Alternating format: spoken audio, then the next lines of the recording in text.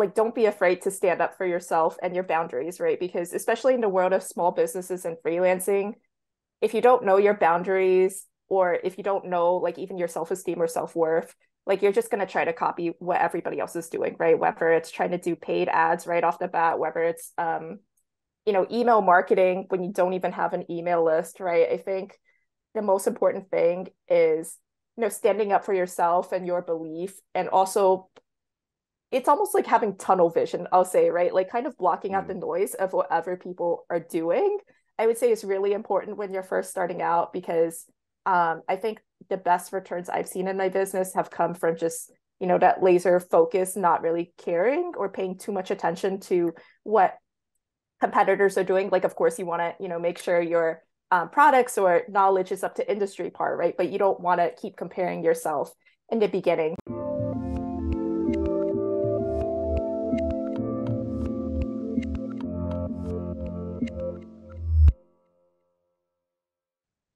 Hey everyone, this is Devin Miller here with another episode of The Inventive Journey. I'm your host, Devin Miller, the serial entrepreneur that's grown several startups into seven and eight figure businesses, as well as a um, the founder and, and, CEO of uh, Miller IP Law, where he helps startups and small businesses with their patents and trademarks. You ever need help with yours? Just go to strategymeeting.com, grab some time with us to chat, and we're always here to help.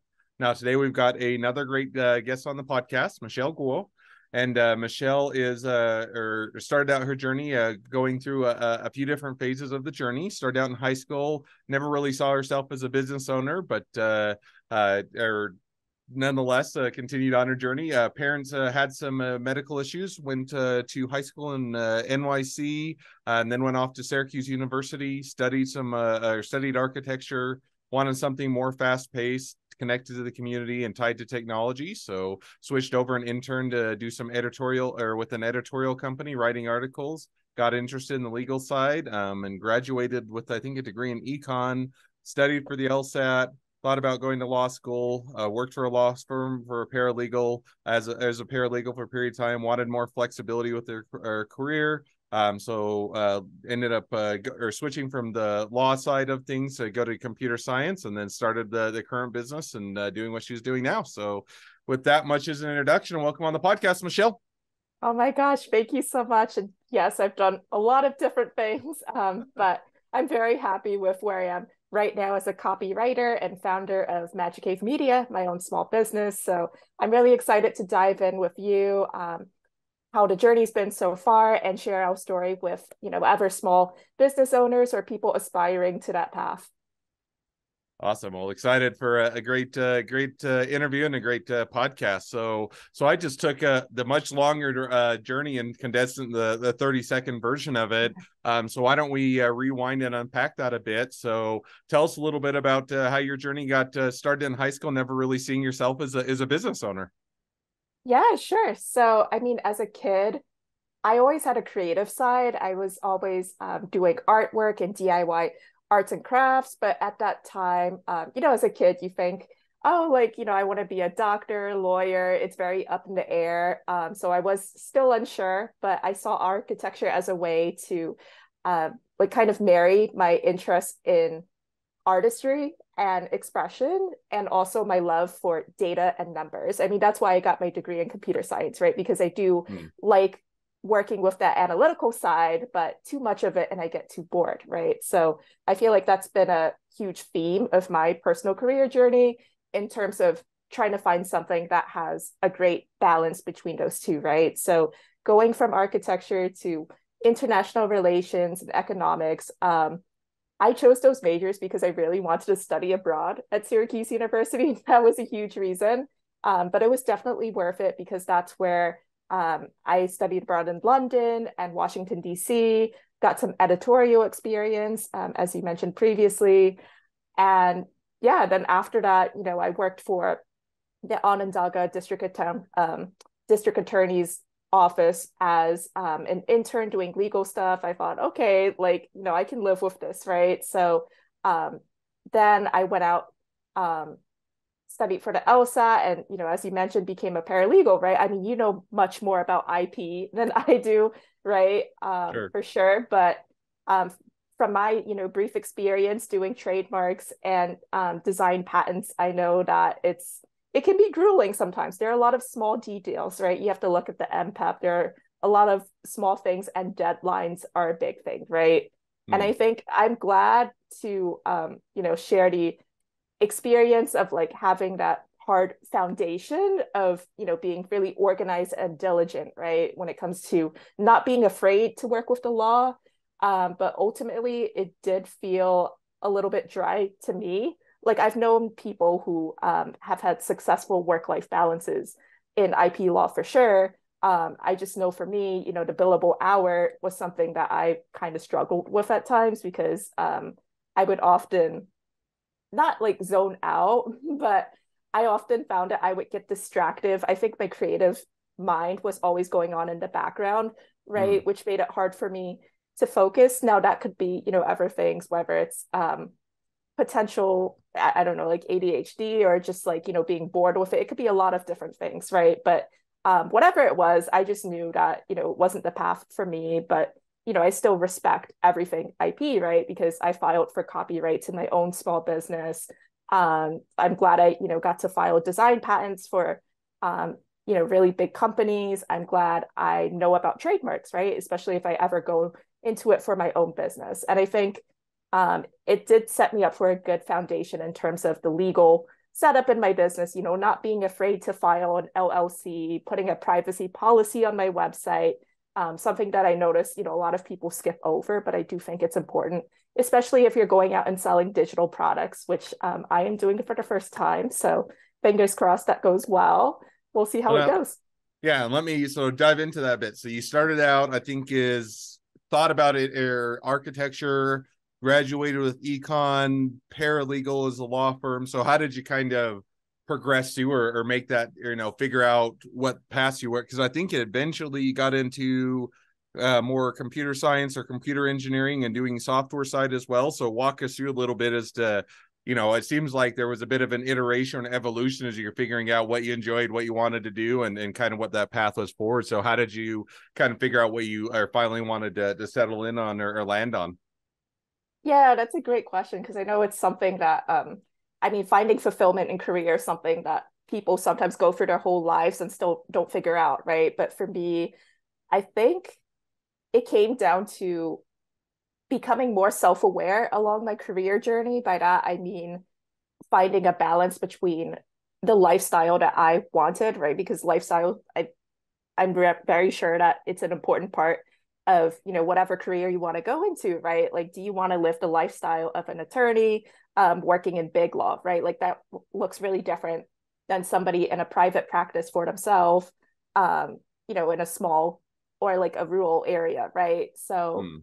um, for me you know i really had to do some reflection in the lifestyle that i wanted right? Am i willing to um, you know sacrifice a steady paycheck for more flexibility in my schedule right and I think it also depends on the phase of life you're in as well. Um, you know, being in my 20s, I, I feel like I'm able to explore more, um, especially, you know, now before um, if I ever have kids in the future, right, I feel like now is the time to do it. Um, not saying that, you know, people with kids can't do it. I, um, I mean, of course, there are so many successful people in that avenue, right? Um, but I know for me, like, I feel like for me, I would just get very overwhelmed um, if that were the case. But anyway, going back to um, your question, I think the computer science thing came about because as I was um, going into intellectual property law journey, I realized that I would need um, like a STEM background or degree in order to advance and take the patent bar, right? If I ever wanted, um, for example, a law firm to take me seriously or cover um, my patent bar expenses or law school as a associate, right? Um, mm. So that is something I thought about, and I did always have an interest in technology. Um, so that's why I went into mobile app development a little bit in addition to um, research during my degree because um, you know I still have this interest in creativity as I mentioned as a kid, right? And I thought mobile app development and design was a great avenue to get started in that. Um, and the research part came about more so as um, like a personal endeavor right like i always wanted to be a published author and i'm you know very grateful that i won awards while I was at um, at my master's degree. It's not something that I expected for sure, um, but you know, it's very, um, I guess, validating in a way that I have that strong technical foundation, which does give me confidence um, in you know whatever I do next in my career. No, makes perfect sense. So now, so or kind of unpacking that a bit. So you know, you kind of started down the path of doing maybe a little bit more of the computer science and programming and app development with the idea of hey if i want to be you know or qualified or, or have the career path to, to go down on the the intellectual property front um, then you know or have that technical background and be able to sit for the patent bar and that uh, all makes sense now walk us through so you you start down that path and i believe you got a degree in computer science is that right. Yeah master's so now, of science so now you got the the bachelor's of science degree. Now you didn't end up going the or the legal route or the intellectual property or going to law school and doing some of that. So walk us through kind of as you're going through that. Where did things shift and change, and kind of or walk us through the, the journey of how you you ended up uh, where you're at today? Okay, so in January 2021, so a little over two years ago, that's when I quit the law firm job. I was living in Washington, D.C. at the time um, I actually quit my job the same day as my partner, you know, because we were just um, kind of burnt out from the nine to five grind, to be honest, um, working for these big companies. And we just wanted to reevaluate our careers. At that time, I was um, still working on my master's of computer science degree. Uh, I was doing it part time while I was working at the law firm. Uh, so here, because I graduated uh, with my degree in May 2021, um, you know, during that time, I really worked on my thesis to graduate. That's when I got my published research. That's when I um, got more serious about mobile app development and my portfolio there on GitHub. Um, so, you know, that's what I did during that span of time.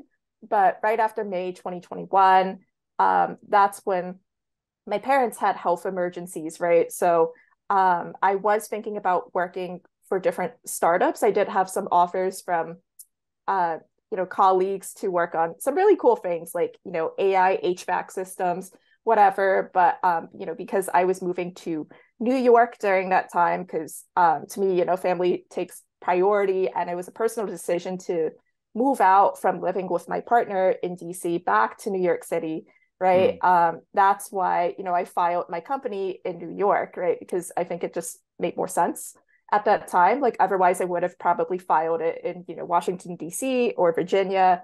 Um, but because I was at New York at that time, that's why I followed filed it there for my company. Now, because I needed again that flexibility to um, care for my disabled dad um, and my mother. Uh, so my mom's recovered by now, but my dad is still, you know, unfortunately disabled. He needs um, assistance twenty four seven. Um, he's a quadriplegic, meaning he can't really you know move his legs and arms um, to the fullest extent um, but you know please pray for him. I mean he's still going strong. He still has a great attitude towards life. Um, so you know i still look to him for inspiration. But yes going back to my career journey so you know given those things i was like well like working for a software startup might be kind of stressful right? Because i think in startups that's the kind of environment where i think a lot of serious companies, especially if they have funding, they really value a lot of growth and hard work in the beginning, right? Like I don't think mm. a lot of them appreciate um, you know, people who need a lot of time off or vacation or unsure about um, you know, their family situation joining startups in the in the beginning, right? Like they want like um usually people who can commit like, you know, an insane amount of hours per week, right? Like 40 60 80 whatever hours so that their product can launch because i do think speed is really important um, to you know a lot of software startups which i understand right? So for me that kind of ruled out that option. Um, also corporate burnout still at that point um, was one reason you know i didn't um, pursue again the legal or the ip route. Um, so you know i was trying to figure out you know what am i doing with my life at this time right? And for me um, that's when i dived into more of the coaching space because um so to add another thing to my career journey so i always you know had an interest in psychology. Um i thought about becoming a therapist in my life but i was like well i already have like you know my bachelor's and master's degree. It's kind of too late for that. That's why i thought in my head i mean i don't think it's too late for anything but you know, logistically and practically, I was like, okay, what's the, you know, closest thing I can get to that, right? And for me, that was coaching. Um, so that's why I earned my coaching certification, um, you know, a few months ago. And that's where, you know, I was like, oh, maybe I could make coaching into a business. Now, I'm not going to lie, I had no idea in the beginning what I was doing at the time. I think it was kind of too vague to be an actual viable business idea. But as I started talking to more people, cold outreaching to people on LinkedIn, you know, started um, becoming more serious about how to conduct sales calls and you know how to do actual business with people that's where you know i got more of the hang of it and realized that the things that people were willing to pay for right i think life coaching in general is a hard sell um, I do know some people who are successful in it, but it's pretty tough. I do think there's an amount of luck involved. Um, and I think it comes down to personal preference as well. But for me, I know that I prefer, you know, working more on the back end. I like to do the copywriting. I like to have one-on-one meetings. Um, I'm not, you know, the type who's um, extremely extroverted, right? Like I like to have privacy and be in my own creative flow.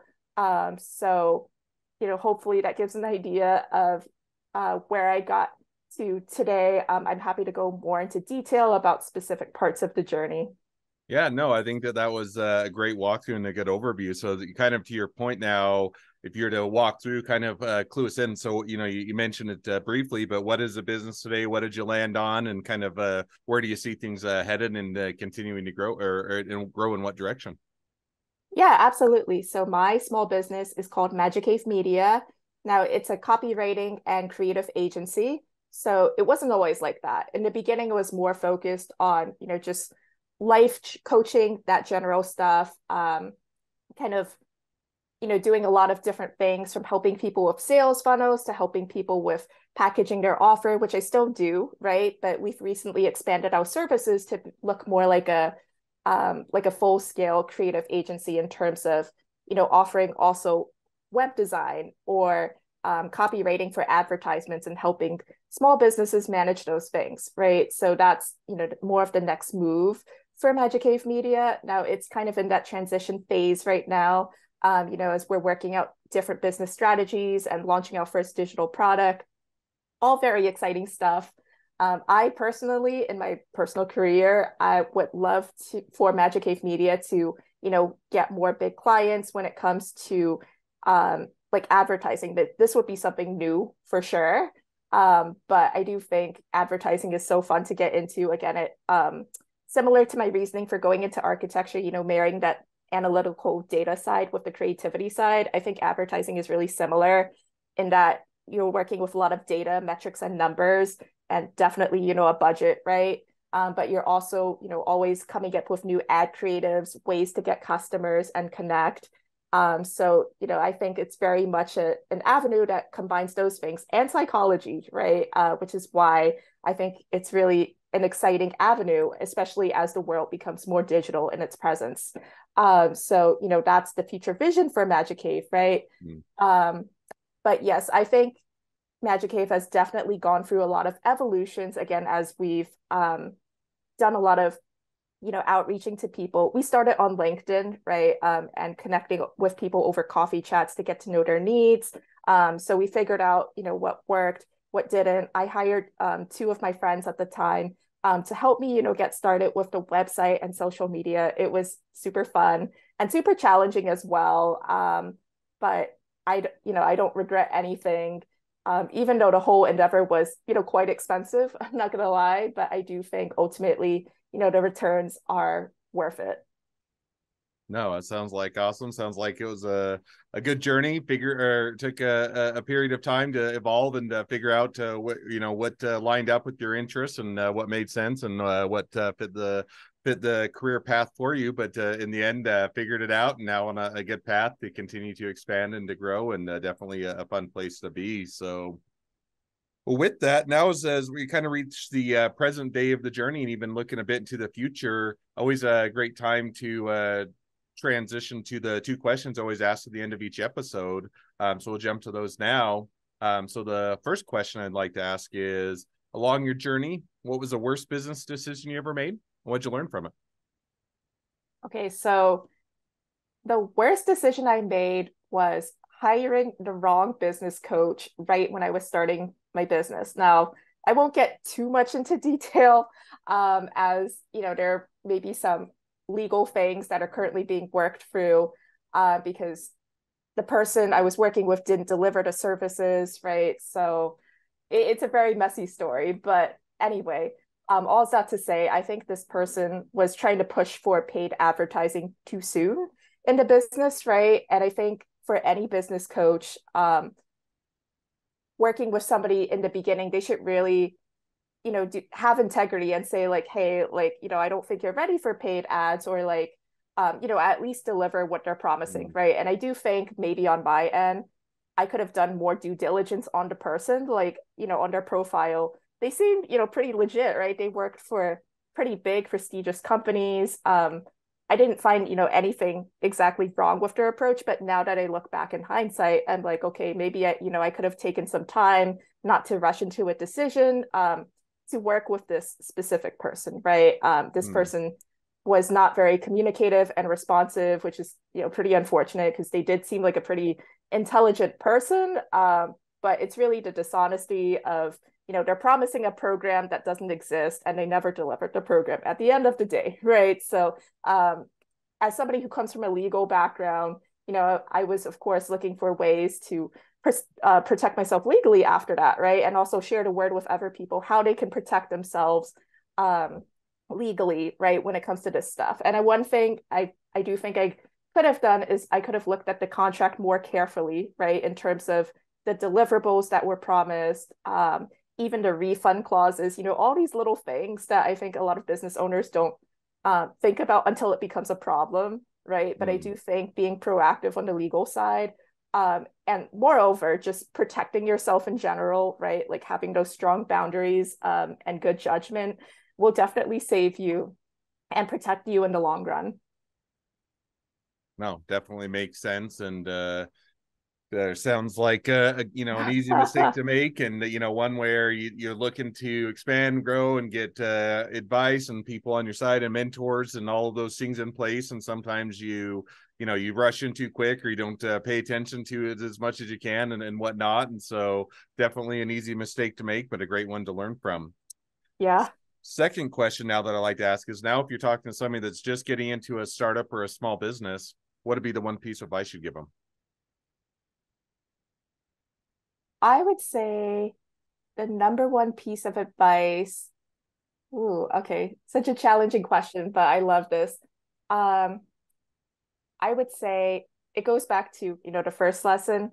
Um, like don't be afraid to stand up for yourself and your boundaries, right? Because especially in the world of small businesses and freelancing, if you don't know your boundaries or if you don't know like even your self-esteem or self-worth, like you're just going to try to copy what everybody else is doing right whether it's trying to do paid ads right off the bat whether it's um you know email marketing when you don't even have an email list right i think the most important thing is you know standing up for yourself and your belief and also it's almost like having tunnel vision i'll say right like kind of blocking mm. out the noise of what other people are doing i would say is really important when you're first starting out because um, i think the best returns I've seen in my business have come from just, you know, that laser focus, not really caring or paying too much attention to what competitors are doing. Like, of course, you want to, you know, make sure your um, products or knowledge is up to industry part, right? But you don't want to keep comparing yourself in the beginning. So, um, you know, that's the main tip that I would give to people. You know, stand up for yourself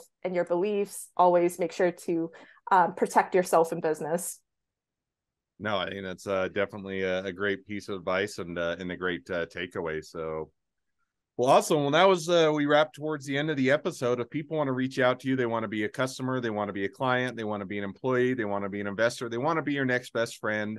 Any or all of the above. What's the best way to reach out to you, contact you, find out more? Yeah, absolutely. So the best way to reach out to me uh, would be on Instagram, on Facebook. My handle is at Michelle Ann Guo. Um, or you can reach out on LinkedIn to my personal profile or my business profile, Magic Cave Media. So those platforms, um, LinkedIn, Instagram, and Facebook are the best ways to reach out. Awesome. We'll definitely uh, encourage people to reach out, support a great business. If nothing else, uh, make a new best friend. So, with that, thank you again, Michelle, for uh, coming on the podcast. It's been a fun. It's been a pleasure. Now, for all of you the listeners that are out there, if you have your own journey to share and you'd like to be a guest on the podcast, we'd love to have you. So just go to inventiveguest.com, apply to be on the show. A couple more things as listeners. Make sure to click share, subscribe, leave us a review. Helps us to reach even more startups and small businesses to help them along their journey to success. And on that note, if you ever need help with your patents, your trademarks, or anything else with your startup or your small business, just go to strategymeeting.com, grab some time with us to chat, and we're always here to help. Well, thank you again, Michelle, for coming on the podcast and wish the next leg of your journey even better than the last. Awesome. Thank you so much, Devin. It was such a pleasure. My pleasure.